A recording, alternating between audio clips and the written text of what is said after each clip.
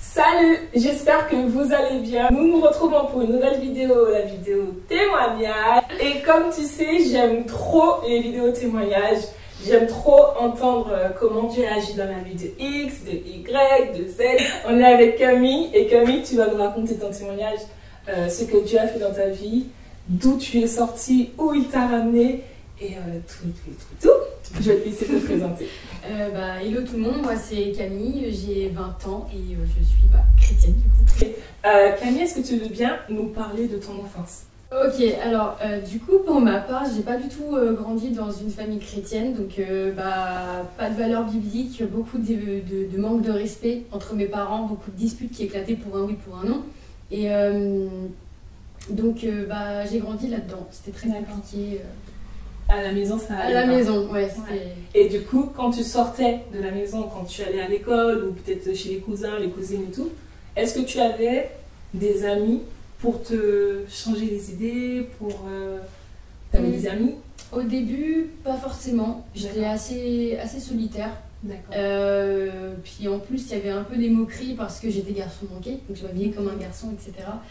Et euh, bah, je me battais avec des garçons, donc voilà, c'était un peu sujet à moquerie. Ouais. Jusqu'à que j'arrive en primaire, où en fait, bah, je rencontre ma meilleure amie. Euh, bah, du coup, ça a été assez fusionnel avec elle.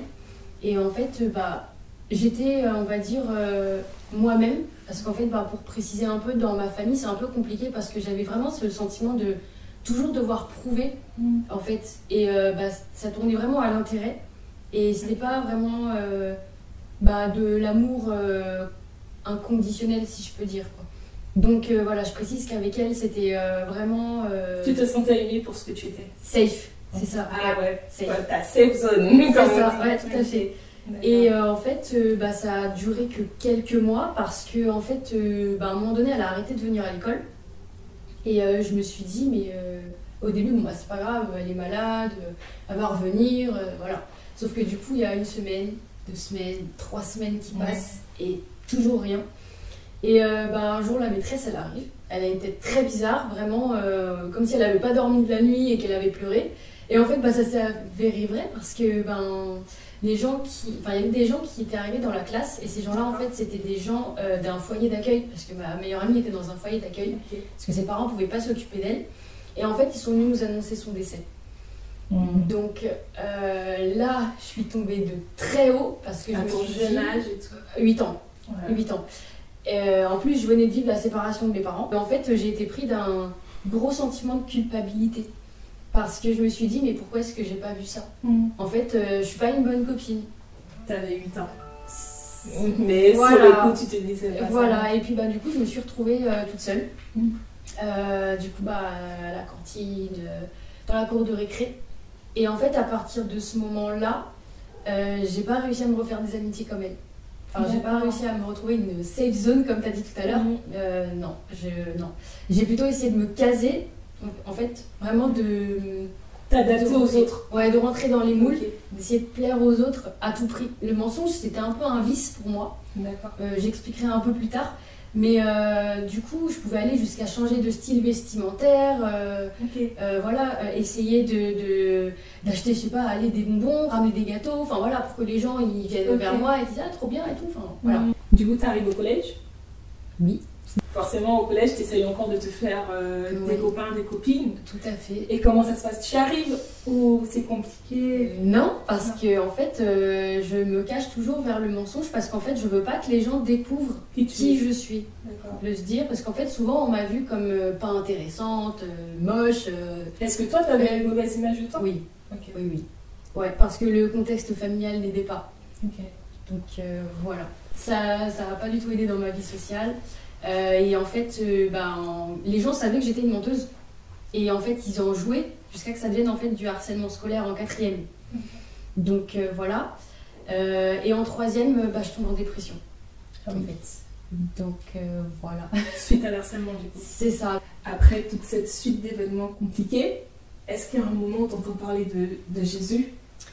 Euh, ou oui. ça vient encore plus tard? Alors ça vient au lycée. J'ai pris des cours de natation.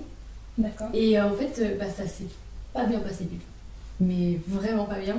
Parce qu'en fait, euh, bah, je subis un, Oh. je subis un abus. Et en fait, bah, ça empire, ça empire les choses. Parce que ben, je me renferme sur moi-même, je ne parle pas, j'ai été manipulée, mais tu as aussi la culpabilité de te dire c'est de ma faute si ça arrivait.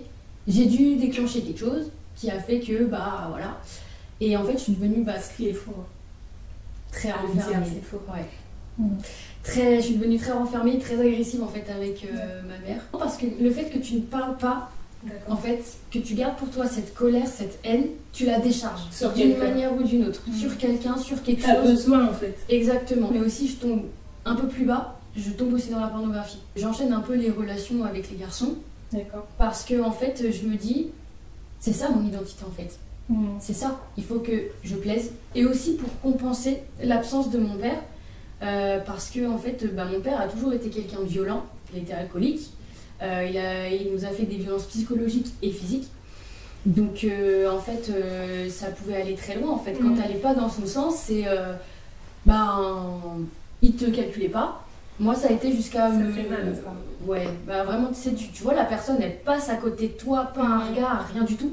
Et en fait, euh, bah, toi, en tant qu'enfant, ça te marque en Bah, fait. c'est ton parce papa, que c'est ça, et tu héros, veux, voilà. tu veux l'approbation. Surtout qu'un père, c'est le premier amour de sa fille, vrai. tu vois. C'est vraiment aussi le premier homme avec qui tu es en contact. Et ça biaise aussi l'image. Enfin, par la suite aussi, les autres hommes, tu recherches ce qui ressemble à ton papa. Exactement, Ouais. c'est exactement ça. Donc, euh, bah, forcément, c'est des choses qui ressemblent énormément à mon père. Donc, euh, des relations très toxiques et euh, forcément aussi bah, dépendance affective, puisque bah, je suis en carence d'amour, d'attention.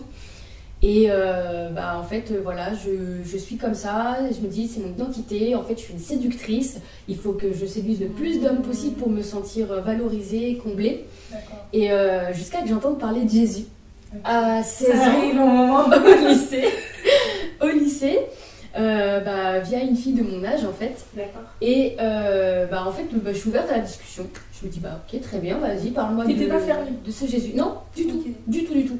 Et du coup, euh, bah, elle me dit, bah si tu veux, tu viens à l'église. Mhm. Donc je suis bon, vas-y, pourquoi pas. Enfin voilà, je m'attendais pas à, Ouais. À quelque chose euh, voilà, de grandiose. Surtout qu'en fait, au début, quand elle parlait d'église, moi je voyais tu sais, les grandes églises, les Les catholiques, etc. Et là, je me dis, j'arrive devant le bâtiment, je me dis, c'est- une église. C'est- une église ça Et euh, du coup, euh, bah, j'entre, l'ambiance est pas du tout pareille. Justement, je vois les gens qui sont en joie, qui dansent, et je me dis, c'est quoi ça? Bah, C'est pas comme ça qu'on. C'est pas comme ça, enfin, Ouais. c'est parce que. C'est pas ce qu'on m'a ce qu'on m'a Tu allais à l'église des fois ou pas du tout? Euh, bah, pas du tout, mais en fait, c'est que bah, mes- ma, ma grand-mère, euh, qui se dit chrétienne et non pratiquante, a été à la messe, etc. Et en fait, euh, bah, Tu à peu près. Voilà. voilà, et je pensais que c'était comme ça en fait, qu'on Mm. était en communion entre guillemets avec Dieu. Mhm. Et quand je voyais ces gens, je me dis, mais ils sont dans l'erreur, c'est quoi? Enfin, Ils font quoi? Je commence un peu un petit cheminement, je commence à être touchée parce que je me dis quand même que euh, les pasteurs qui prêchent, ou même les gens parfois qui, ont- qui sont inspirés euh, du Saint-Esprit et qui viennent parfois prendre la parole, Mhm. je me dis, mais euh, c'est bizarre. Parce qu'en fait, je- je- il y a des choses, je me rends compte que c'est quand même un peu pour moi. Et en fait, je me dis, il y a quelque chose. Mhm. Je sais pas ce que c'est, mais il y a quelque chose. Euh, donc j'ai pas, enfin je continue à aller à l'église un petit peu, sauf que bah je donne pas forcément ma vie à Jésus en fait. Je, je suis vraiment en fait euh, dans la découverte. Oui, je commence aussi à parler un petit peu de Jésus euh, dans ma famille. Bon, forcément, c'est pas très bien Mhm. reçu, ils sont assez fermés, mais c'est pas vraiment, j'ai pas vraiment donné ma vie à Jésus parce qu'en fait, je vais déménager. Je travaille en tant que serveuse. Je, D'accord. je- je décide de prendre un travail en tant que serveuse et euh, bah, pour gagner mon argent, pour après, par la suite, justement, bah, pouvoir aller passer mon permis Mhm. euh, pour un appartement. Gagner en indép- en indépendance. Exactement, Voilà. partir, quitter le nid. Et en fait, ça se passe pas très bien. Bah, mes patrons me maltraitent. Donc, je décide d'arrêter. Parce que aussi, bah, je... ma santé se dégrade. Parce que bah, j'ai mal au dos, Mhm. très fatiguée. Puis t'as peut-être aussi la boule au ventre avant d'aller au boulot. Exactement, c'est toujours dans l'angoisse en fait. Exact. Et puis, euh, bah, c'est surtout qu'à un moment donné, je décide d'arrêter parce que je commence à replonger aussi. Et ça, c'est c'est pas possible en fait, Mhm. parce que je- j'ai déjà touché le fond, je veux pas toucher le fond. Sauf que, bah, si, ça arrive en fait. Dans une dépression, tu pars Je recommence un peu à devenir un peu plus dépressive avec des envies euh, assez noires, quoi. Je me rends compte que j'ai que j'ai plus mes menstruations. en fait. À un moment donné, et je me dis, c'est bizarre. Du coup, je me dis, bon, bah, c'est peut-être lié, tu sais, bah, au, fait que tu ça va pas au boulot, que tu y penses. C'est ça en fait, oui, tout à fait. Bah, le fait que je sois mal. en fait. Voilà, en fait, bah ouais, tu peux avoir des blocages et du coup, je pensais que c'était ça. Surtout qu'en fait, bah tu sais, mais j'avais un peu mal au dos, etc. Et j'avais été voir un premier ostéopathe parce que bah en fait, je me disais que parfois j'étais nauséeuse, etc. Il me dit bah en fait, c'est complètement lié en fait à votre travail. Donc voilà. Donc je vais voir la deuxième ostéopathe et elle me dit Fais un test de grossesse. Attends, je... Attends, à comment ça un test de grossesse J'avais rien, j'étais plate là, tu vois, comme là, là. Ça pas Rien du tout, rien. Enfin, franchement, ou alors euh, un petit peu, mais franchement, euh, pas de là à se dire que. Il y a une grossesse. Qu'il y a une grossesse. Donc, je fais le test, je me dis, de toute façon, qu'est-ce que tu veux qu'il y ait un bébé? C'est pas possible, tu me vois bien. Et là, je me vois que c'est positif. Donc, je commence un peu à paniquer, mais je me dis, il faut que je fasse une échographie. Là, je serais sûre que il y a quelque chose. Il y a quelque chose. Je fais l'écho.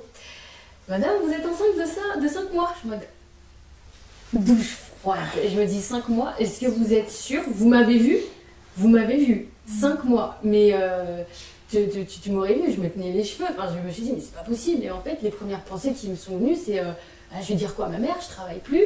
Euh, je vis chez elle. Je vais faire comment pour éduquer un enfant. Et puis, bah, c'est surtout le premier truc que j'ai pensé, c'est Enfin, avant qu'elle me dise le terme, je me suis dit, mais en fait, je vais, je vais avorter en fait. Je peux pas. Hmm. Je peux pas, j'ai 18 ans, je peux pas être maman. Et je veux pas être maman. T'étais encore avec le papa? Euh, C'était un peu compliqué. C'était un peu compliqué en plus. Donc euh, voilà, en plus hmm. de ça. Donc t'as voulu avorter et euh, est-ce que tu es allée jusqu'à l'avortement du coup? Est-ce que tu as fait des démarches ou... Bah j'ai pas eu le temps en fait parce que bah on m'a dit que j'étais à 5 mois. Ah oui 5 mois c'est Donc 5 mois c'est plus possible. On m'avait dit ou alors faut que vous alliez tout de suite dans un autre pays pour vous faire avorter. Et est-ce que tu as pensé à l'accouchement sous X? Oui, tout à fait. J'y ai pensé. Je voulais pas du tout garder ce bébé parce que bah je, je non, je voulais pas être maman, pas à 18 ans. Euh, je me disais mais déjà comment je vais faire? Mm. Enfin, voilà, plus de boulot, je suis chez ma mère, je peux pas, je peux absolument pas. Et euh, en fait, euh, bah, oui, j'ai pensé à la faire adopter, etc. Et en fait, j'ai été poussée justement par mes proches pour la garder. Parce qu'en fait, ils jouaient beaucoup sur la culpabilité de te dire, mais tu te rends compte, si tu l'abandonnes, il va y avoir un bout de toi qui sera euh, quelque part dans le monde et tu l'auras abandonné toute ta vie, tu vas le regretter. Et en fait, disons que bah, j'ai décidé de la garder, mais à contre-coeur. Parce que tu avais de la pression une grosse pression. C'est ça. du coup, vu que ça a été euh, pas ton choix, comme tu dis, est-ce que ta grossesse, tu l'as bien vécue? Non. Ouais, c'était compliqué de, de faire peut-être le lien avec euh, bébé qui est dans ton ventre. Et... Euh, ouais, parce que déjà, tu n'as que 4 mois, du coup. Oui. J'ai eu que 4 mois. bah, du coup, c'était, on devait préparer les affaires du bébé, enfin l'arrivée du bébé en express. Donc, bah, voilà, brocante, etc., comme on pouvait, mhm. pas. Euh, et puis bah, surtout que je l'ai fait seule. Enfin, j'ai vécu cette grossesse seule. Bah, il y a eu juste ma mère qui, qui m'a vraiment accompagnée. Et l'accouchement. Merci Seigneur, j'ai pu avoir la péridurale. Voilà, donc ça, ça sauve. ça, franchement, c'est magique. Merci Seigneur. Euh, donc euh, bah ça s'est bien passé. juste après j'ai eu des complications. Ce que j'ai fait en fait. Toi ou moi Moi ouais. J'ai fait une hémorragie postpartum, j'ai perdu 1 euh, litre 4 de sang. Ah Donc en fait, je suis allée directement en réanimation. Et on m'a en fait, euh, bah, du coup, encore une fois, coupé le lien avec ma fille. On te l'a pas donné du tout Bah Alors, que tu fais. J'ai fait le pot à. Ok, t'as eu le temps de. Ouais, mais tu sais, t'as pas le temps de t'approprier. C'était vite en fait. C'était trop vite. Parce qu'en fait, direct, euh, ils me l'ont enlevé. Et t'as pas le temps. Pendant deux jours, je me retrouve séparée de ma fille. Pendant deux, jours, en ah réanimation. Je mange pas je bois pas. Et en fait, bah, j'ai des sondes partout, en fait. Je suis sondée de partout. D'accord. c'est que t'arrives pas à t'alimenter Ouais, non, je peux pas. Et puis même, il vaut mieux pas. Il valait mieux pas, en fait. D'accord. Voilà. Ah oui. Donc c'était très compliqué. Donc ça veut dire que même quand bébé est arrivé, c'est... tu n'as pas pu créer ce lien encore. Mm, c'est ça, tout à fait. Ok, donc l'accouchement un peu compliqué. Grâce à Dieu, vous êtes les deux en vie. Mais maintenant, tu arrives à la maison avec bébé. Mm. Comment ah ça se bah, passe Déjà, pour moi... Euh, Rien que déjà juste quand je suis arrivée dans la chambre de maternité, c'était plus mon bébé en fait, c'était un bébé. Et bah même après à la maison en fait, euh, c'était vraiment les besoins primaires. Quand elle pleurait en fait, c'était soit euh, je lui donnais à manger, soit je la faisais dormir ou j'ai changé sa couche. Mais il n'y avait pas trop d'amour, tu vois, c'était pas... Très mécanique.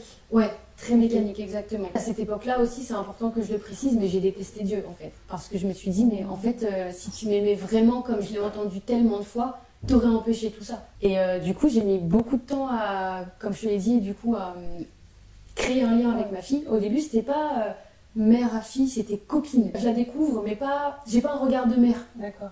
j'ai un regard de copine. Et c'est quand ça arrive ce regard de mère? Il m'a fallu une mauvaise rencontre. Après, quand j'ai fait une mauvaise rencontre plus tard, Ok. qui m'a beaucoup plongé en fait dans des choses assez, assez compliquées aussi. Hmm. La drogue, Ah oui.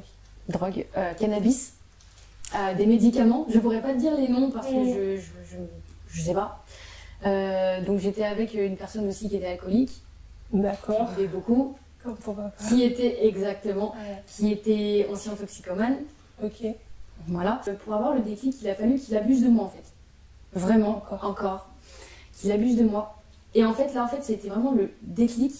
Je prends mes affaires, je prends ma fille, je m'en vais. Là, je coupe le cours, T'as dit ma fille. Là, c'est au moment t'as dit. euh, ma fille.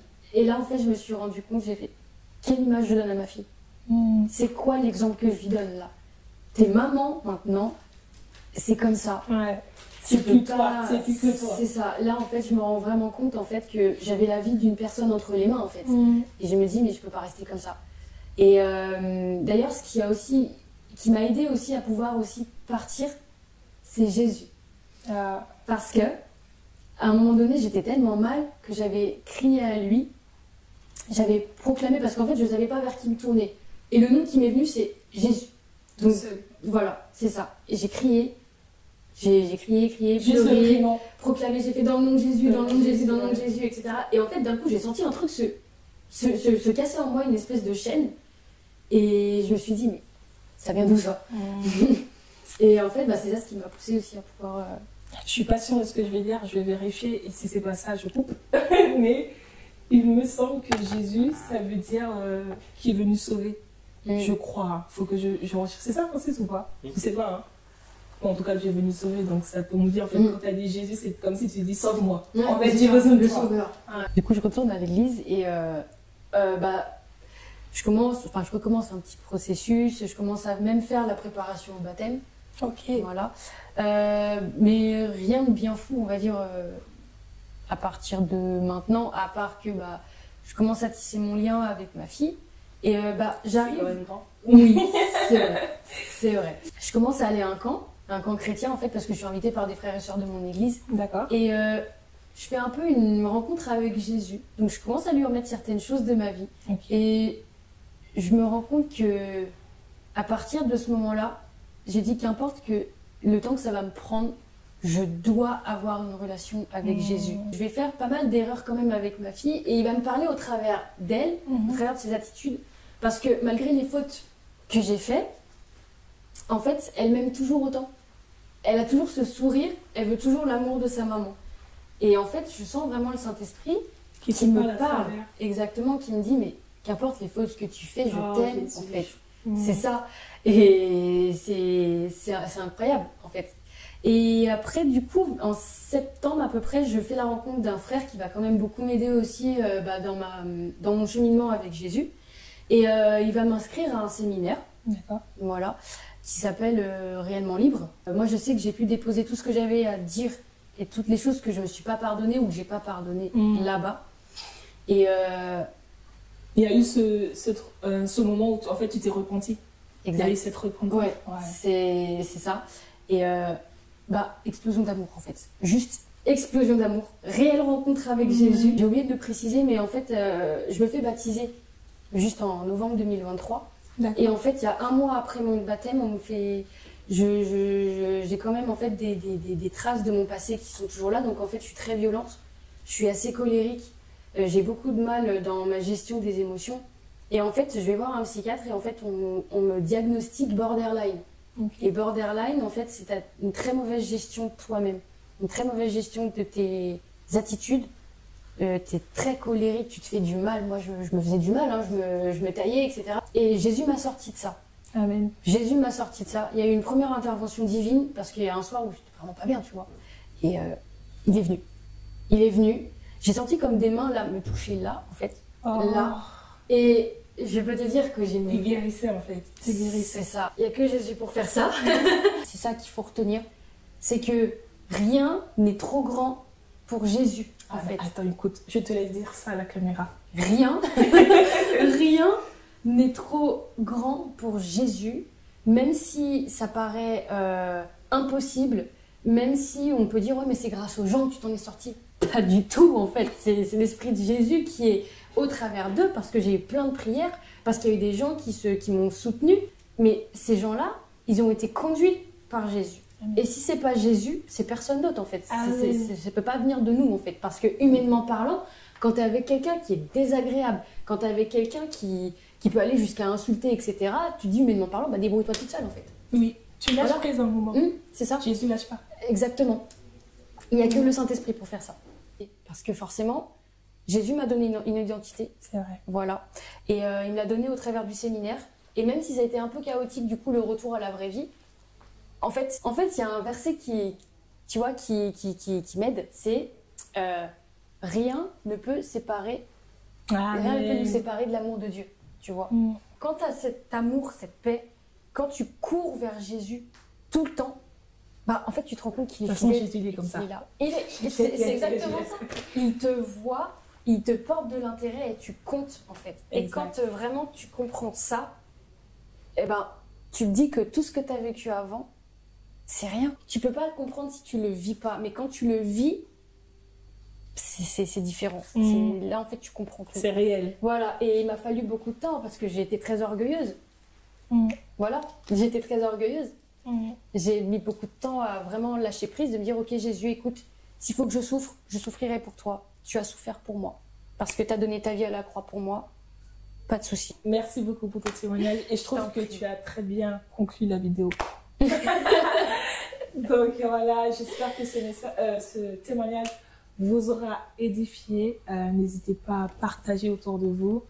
Et euh, moi, j'ai j'ai un seul mot, c'est waouh. On se dit à la prochaine pour une nouvelle vidéo. Bye bye.